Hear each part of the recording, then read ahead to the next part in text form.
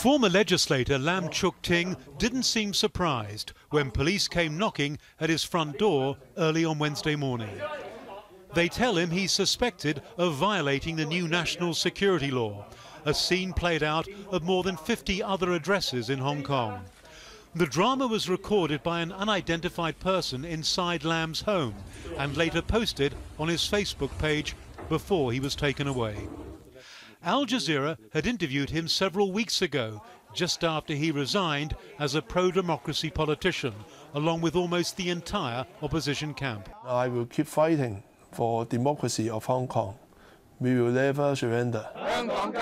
That was in response to the disqualification of four fellow legislators following a ruling by China's highest political body. Police say Wednesday's operation involved more than a thousand officers and involved raids on three media outlets, as well as a law office, where a solicitor, who's also a US citizen, was arrested. Uh, we have arrested um, 53 persons for the offences of subversion under the, uh, uh, the, the, um, the national security law. The detentions were linked to an unofficial primary vote held last July to select candidates for the legislative elections due two months later. A poll that was eventually cancelled with the Hong Kong government citing COVID 19. Now all those involved in organising that primary are suspected of subversion, which carries a maximum sentence of life imprisonment. A further sign of the tightening authoritarian grip here, says one analyst. It seems to me this is the Chinese Communist Party trying to uh, change the political culture of Hong Kong. It's imposing Leninism why did they arrest these people? Because they demonstrated capacity to organize. The US President elect Joe Biden has said that China will be at the center of his foreign policy, so it's possible Hong Kong will be an early point of friction with China's President Xi Jinping, who has said the campaign against dissent here is justified in the name of safeguarding national security. Adrian Brown, Al Jazeera, Hong Kong. Well, in July, Hong Kong's opposition held an unofficial primary vote to select candidates for the parliamentary election, as Adrian was explaining. China said those primaries violated the wide reaching national security legislation it imposed on Hong Kong a month earlier. Now, the law gives broad powers to punish political crimes, and it was the result of a year of anti government protests. China says the national security law is going to help return stability to the territory, but human rights groups say it erodes freedom. Countries like Canada and the UK began making immigration easier for Hong Kongers as some activists began fleeing the territory.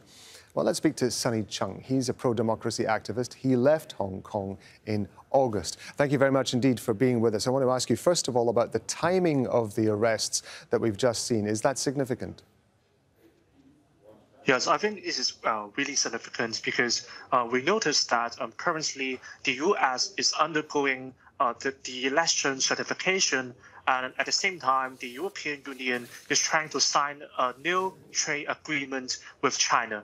And then China is trying to uh, show its authoritarianism, trying to eradicate the whole pro-democracy camp in Hong Kong.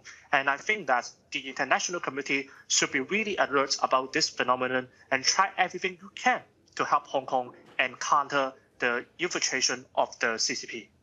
What do you think about the response that the international community has given to the, pro-democracy protests and what's been happening to the activists uh, since then? I think um, actually uh, many major media um, in the West already reported about the news, uh, which we uh, really appreciate that. However, we hope that um, the governments of each um, countries can also give a very quick and strong response to um, to Hong Kongers and to the governments because we uh, anticipate that uh, the European Union can also use the Magnitsky Act to sanction Hong Kong and Beijing officials who should be held responsible for this political crackdown. It seems as though there seem to be two options for, for pro-democracy activists in Hong Kong. They either stay and they get arrested, or they leave and they protest outside and they can talk to organisations like ours. Which do you think is more effective when it comes to garnering international attention about this? Of course, I think um, we respect um, each individual's uh, choices. And then some people choose to stay, and some people, uh, like me or other prominent activists like Nathan Law, we chose to flee from Hong Kong. And then we try to use um, the space and the opportunities to keep con- uh, to keep continuing voicing out for Hong Kongers. And uh, at the same time, meanwhile, when people who choose um, to stay in Hong Kong, they will keep the fight on and they will keep be outspoken. When you say that they're going to keep the fight on, how do you see that working given the kind of arrests, the kind of crackdowns that we're seeing in Hong Kong? Of course, I mean, um, the, the freedom, um, the space, the opportunities will be really limited um, on the ground. And therefore, we do need the help from the international community because uh, I think uh, in the foreseeable future, uh, we can uh, no longer anticipate there will be any large-scale uh, social protests in Hong Kong uh, due to the repression and also the COVID-19. And at the same time, when most of the politicians, activists are all arrested um, due to this incident, and that means our whole pro-democracy camp is being eradicated by the Beijing government. And that's why we need help from the international community. We should not abandon the autonomy and freedom of Hong Kong society. There has been a lot of vocal support from international communities for what's going on in Hong Kong for the pro democracy movement. Doesn't seem to be a great deal of action. How concerned are you that countries are going to put trade with China ahead of the democratic concerns of Hong Kong?